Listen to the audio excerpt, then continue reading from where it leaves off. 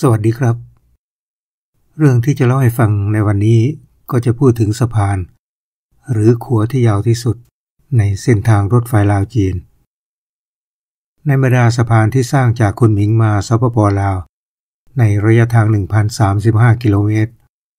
สะพานที่ยาวที่สุดก็อยู่ที่สปปลาว คือสะพานใหญ่น้ำคอน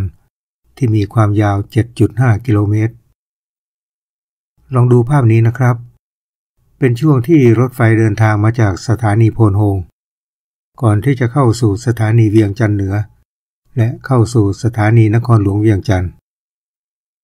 เส้นสีขาวคือเส้นทางที่เป็นดินถมสูงขึ้นมากกว่าปกติ เส้นสีเหลืองก็คือสะพานโพนทอง ยาวลงไปทางใต้ มีความยาว 7.5 กิโลเมตร ก่อนที่จะเข้าสู่สถานีรถไฟเวียงจันทร์เหนือ ดูใกล้เข้ามาหน่อยครับ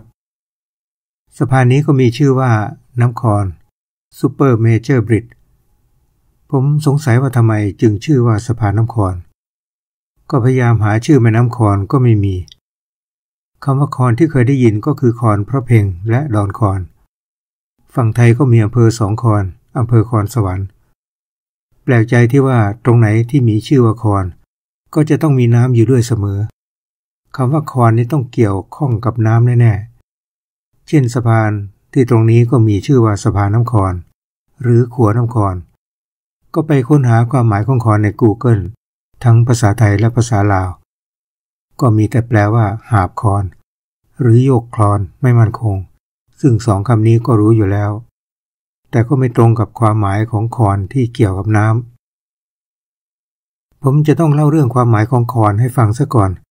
จึงจะเข้าใจว่าทำไมจึงต้องสร้างสะพานที่ตรงนี้ บริเวณนี้ทำถนนถมดินไม่ได้ครับ ต้องทำสะพานอย่างเดียว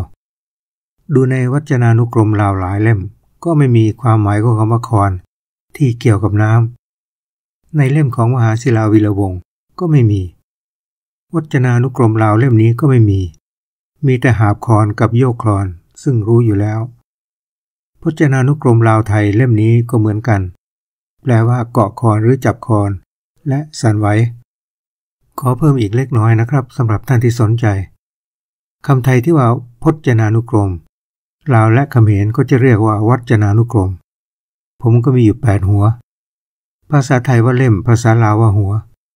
คำว่าเล่มในภาษาลาวนี่หมายถึงเล่มหนึ่งเล่มสองเช่นจบเล่มที่หนึ่งก็ต่อเล่มที่สองแบบนี้ครับ ผมไปเจอในพจนานุกรมลาวไทยอังกฤษ ฉบับเฉลิมพระเกียรติ มหาวิทยาลัยเกษตรศาสตร์ ได้ให้ความหมายของคำว่าคอนดังนี้ครับ คอนน้ำหรือน้ำคอน คือแควขนาดเล็ก หรือคลอง หรือสาขาของแม่น้ำอันนี้ก็ใกล้เคียงกับคำว่าน้ำเข้ามาหน่อยคำว่าโยกคลอนหรือนกเกาะคอนหาบคอนอันนี้เรารู้อยู่แล้ว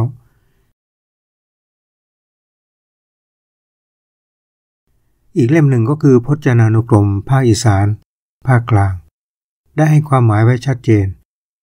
ภาคอีสานนี่ก็เป็นส่วนหนึ่งในอาณาจักรล้านช้าง ก็ยังเก็บคำนี้ไว้ได้ และก็ได้บันทึกบอกกันต่อๆมา มีหลายเรื่องที่จารึกไว้ในใบลาน จารึกใบลานอยู่ในอีสานก็มีเยอะครับ ในพจนานุกรมเล่มนี้ก็ได้ให้ความหมายของคำว่าคอนไว้ว่า หมายถึงร่องน้ำลึก ส่วนน้ำตกในภาษาลาวก็ว่าตาด อันนี้เราก็รู้กันอยู่คำว่าคอนกับตาดนี่ใช้แทนกันไม่ได้นะครับ ในเล่มนี้ก็ได้ยกตัวอย่างคอนพระเพลงไว้ด้วยคำว่าพระเพลงเราก็รู้ว่าหมายถึงพระจันทร์เต็มดวง หรือเป็นคืนเพนมีหลายคนที่แปลคอนว่าเกาะแก่ง อันนี้ก็ไม่ถูกต้องนะครับคำว่าเกาะคำว่าแก่งในภาษาลาวก็มีอยู่แล้ว เราไม่สามารถที่จะเรียกแก่งสะพือว่าคอนสะพือ เราไม่สามารถที่จะเรียกแก่งตะนะว่าคอนตะนะ แก่งกระเบาที่มุกดาหารเราก็เรียกว่าคอนกระเบาไม่ได้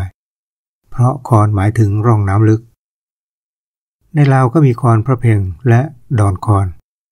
นี่ก็เป็นพจนานุกรมภาษาถิ่นอีสานอีกเล่มหนึ่ง อธิบายว่าบ้านสองคอนก็คือมีร่องน้ำลึกสองร่อง เพราะฉะนั้นตรงที่สร้างสะพานโพนทองข้ามมาเวียงจันทร์ตรงนั้นก็เป็นร่องน้ำหรือเป็นร่องน้ำที่มีบริเวณกว้าง ชาวบ้านก็เรียกกันต่อๆมาว่าน้ำคอน เป็นที่น้ำท่วม ชาวบ้านใช้ที่ตรงนี้ในการทำนาปลูกข้าว ถ้าทมถนนก็จะเจอหน้าน้ำหลาก รับรองถนนหายไปหมด รถไฟแล่นไม่ได้ ระยะทางก็ไม่ใช่ใกล้ๆครับ ตั้ง7กิโลเมตรครึ่ง ต้องซ่อมแล้วซ่อมอีก เมื่อเดินทางก็เกิดความไม่มั่นใจ จึงต้องทำสะพานแต่เพียงอย่างเดียว มีต่อหม้อของสะพานทั้งหมด 231 ต้น ต่อหม้อที่สูงที่สุดก็มีความสูง 10.5 เมตร สะพานนี้ก่อสร้างเสร็จสิ้นเป็นที่เรียบร้อยเมื่อวันพฤหัสบดีที่ 14 มิถุนายน ปี 2021 ที่ผ่านมา นี่แหละครับที่ผมนำมาเล่าให้ฟังถึงที่มาของชื่อ และความจำเป็นที่ต้องสร้างสะพาน ทางรถไฟจีนลาวนั้นก็อยู่ภายใต้แผนที่เริ่มหนึ่งแถบหนึ่งเส้นทาง เชื่อมนครคุนหมิง มณฑลอวินาน หรือยูนาน กับนครหลวงเวียงจันทร์ของลาว เริ่มก่อสร้างเมื่อเดือนธันวาคม ปี 2016 ด้วยเงินลงทุนกว่า 5,800 ล้านดอลลาร์สหรัฐ โดยบริษัทรถไฟจีนหมายเลข 5 กลุ่มวิศวกรรม คือ China Railway No 5 Engineering Group ทำพิธีเปิดไปแล้วเมื่อวันที่ 2 ธันวาคม ปี 2021 และวันที่ 3 ธันวาคม ก็ได้ทำพิธีเปิดร่วมกันทั้งลาวและจีน เริ่มบริการประชาชนเมื่อวันที่ 4 ธันวาคม 2021 ก็ถือว่าเป็นความก้าวหน้าครั้งสำคัญในการก่อสร้างทางรถไฟ ซึ่งเป็นโครงการเชิงสัญญลักษณ์ของการก่อสร้างหนึ่งแถบหนึ่งเส้นทาง ผมไปเที่ยวน้ำตกคอนพระเพงเกือบสิบครั้ง ตั้งแต่ต้นไม้มณีโคตรก็ยังอยู่ ไปเที่ยวแก่งลีผีเข้าไปที่ดอนคอนตรงนี้ก็มีร่องน้ำลึกและมีดอนสูงด้วย ดอนเดดกับดอนคอนก็อยู่ใกล้กัน เคยเข้าไปในดอนโขงตั้งแต่ยังไม่มีสะพานข้าม ผมยืนอยู่ที่ดอนคอนมองเข้าไปในฝั่งเขมร เขมรเรียกว่าสัมพมิตร ไม่ได้เรียกหลีผีเมือลาว เขตสตรึงแกรงของเขมรนี่ก็เคยเข้าไปนอนมาแล้ว เมืองสตรึงแกรงนี่ก็พูดทั้งลาวและเขมร ผมพูดภาษาเขมรกับแม่ค้าก็ก็บอกว่าว่าลาวดีกว่า ก็ถือโอกาสนำภาพสะพานหรือขัวโพนทองมาให้ดู ท่านที่เคยนั่งรถไฟไปวังเวียงไปหลวงพระบาง ก็ต้องผ่านสะพานแห่งนี้ สังเกตดูว่าเป็นที่น้ำท่วมครับ สะพานก็ต้องสร้างข้ามน้ำไป เสาต่อหม้อสะพานก็ต้องใหญ่และแข็งแรงมาก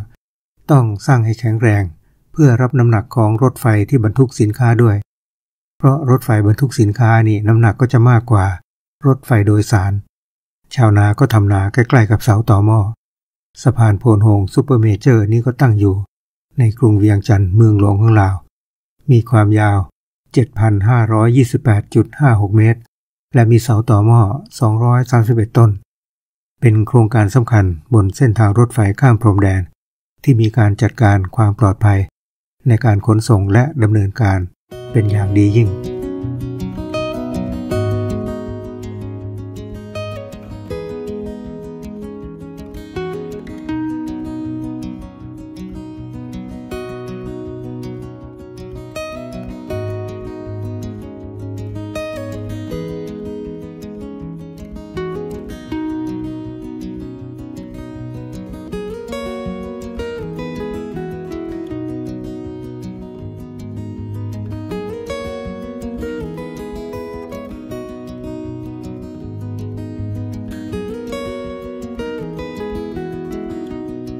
วันนี้ผมเล่าให้ฟังแต่เพียงเท่านี้ ก็จะเล่าเรื่องอื่นให้ฟังอีกในโอกาสต่อไปสำหรับวันนี้ สวัสดีครับ